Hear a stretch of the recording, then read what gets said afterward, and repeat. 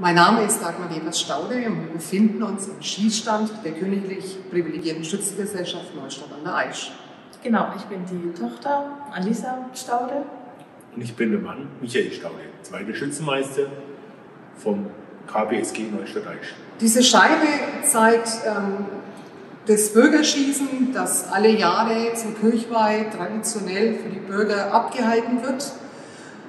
Diese Scheibe ist nur für die Bürger vorbehalten. Es wird auf KK liegend, 50 Meter geschossen, aufgelegt. Der beste Teiler zählt und wird dann mit Namen der Schütze dort aufgeschrieben. Wir hatten die Idee für die Scheibe zum 550-jährigen unserer Schützengesellschaft. Diese Scheibe ist die einzige bisher in unserer Schützengeschichte.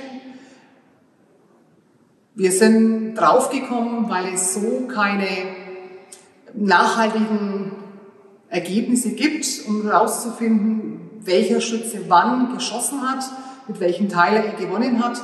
Und so sind wir draufgekommen, um auch die Bürger unserer Stadt Neustadt an der Aisch und Umgebung daran teilhaben zu lassen, sich hier zu verewigen. Genau, weil das Bürgerschießen ist ja sehr prägsam für unseren Verein und dass auch mal die Bürger die Chance haben, sich hier sozusagen im Schießhaus zu verewigen. Es zeigt den Zusammenhalt unserer Familie, weil wir schon seit Jahrzehnten in diesem Verein sind, vieles mit bewirkt haben und uns, es geht nicht ums Verewigen in dieser Scheibe, sondern den Verein ein Stück weiter oder in die Geschichte weiterzugeben, an der, an der viele mitarbeiten und unsere Familie schon sehr lange dabei ist.